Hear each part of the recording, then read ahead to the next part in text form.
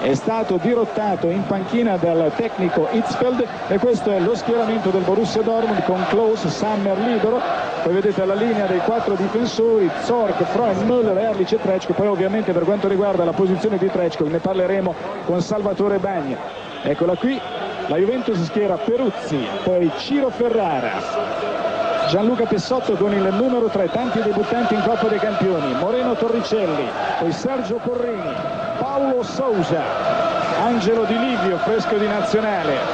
Siamo al capitano che è Antonio Conte per la prima volta, poi Michele Padovano, Alessandro Del Piero e Vladimir Jugovic. Ha fatto nella partita di domenica nel secondo tempo, eh, gioca a destra lasciando Ferrari e Porino centrali.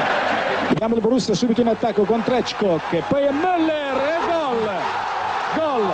Dopo 36 secondi Andy Müller porta in vantaggio il Borussia Dortmund, una doccia davvero gelata per Marcello Lippi, sorpresissimo anche il portiere Peruzzi che vedete che è sceso in campo con una leggerissima protezione al naso dopo l'infortunio patito domenica.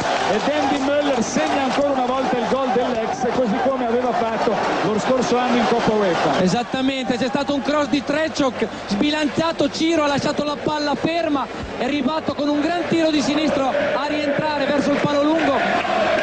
C'era un po' d'effetto in, in, questo tiro che, ha, che Peruzzi purtroppo non ha, non ha, intuito e la palla è entrata, ha già segnato l'ex, si vede la questa si rivede il cross di Trecciok, Ciro è sbilanciato, rispetto al pallone, arriva Möller che si sa ha un gran tiro e non perdona anche con qualche sicuramente titubanza di Peruzzi. Juventus che deve ancora proporre delle valide soluzioni offensive anche se c'è stato il eh, più che apprezzabile pallonetto di Antonio Conte.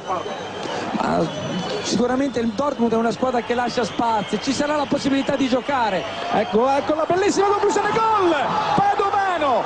Padovano sul cross dalla sinistra di Del Piero ha colpito la palla di precisione, di giustezza, di misura, l'ha infilata all'incrocio dei pali battendo il portiere Klaus. Dunque pareggio della Juventus grazie al debuttante Michele Padovano che non aveva mai giocato in una competizione europea. 1-1. E bravo Padovano, qui si rivede il cross a rientrare di esterno di Del Piero. Padovano colpisce, ma eh, Sammer è molto lontano, l'avevo già detto prima, lasciano molto spazio ai giocatori della Juve per manovrare, quindi niente da fare per Klosco. La palla di Padovano va a finire praticamente all'incrocio dei pali.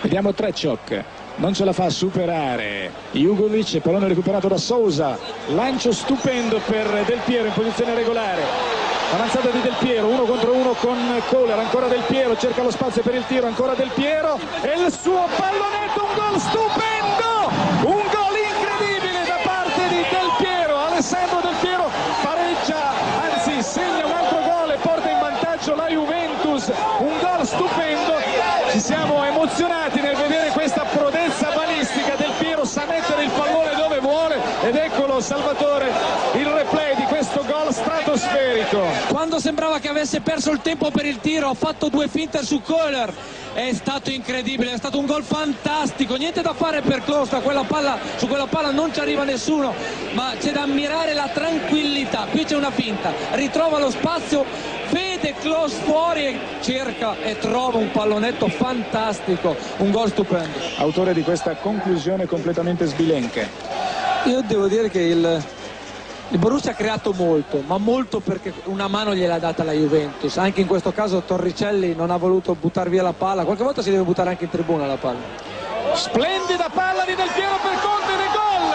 Del Piero ha pescato Conte in area di rigore, tuffo di testa del numero 8, capitano bianconero ed è 3 a 1. Un gol stupendo che nasce dall'iniziativa geniale ancora una volta di Del Piero. 3 a 1 per la Juventus. È bellissima ancora l'iniziativa di Del Piero che quando parte sulla sinistra è eccezionale perché non lo possono, lo devono aspettare, devono aspettare la sua prima mossa. Qui il pallone è stato eccezionale, Conte è andato incontro alla palla e ha piazzato questo pallone alle spalle di Klos incolpevole.